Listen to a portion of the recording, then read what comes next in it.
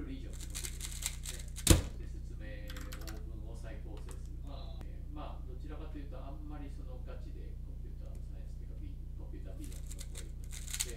まあ、デザインとか認知感とかからアプローチして映画かするっていうアプローチがいいですねということで、えっとまあ、一貫して多分そっちの方でやっていったと思います。できるかもしれないっていう話とで秋口から、えー、やっぱ言葉をちゃんとやります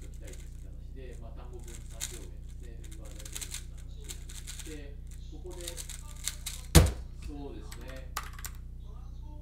いつアパートオブから全部作ろうとしてたんですけど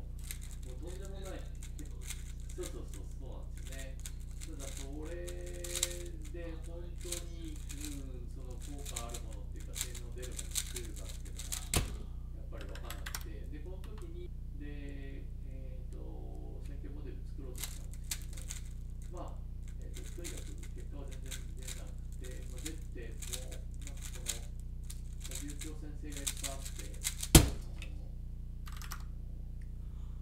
なんかあんまり使える。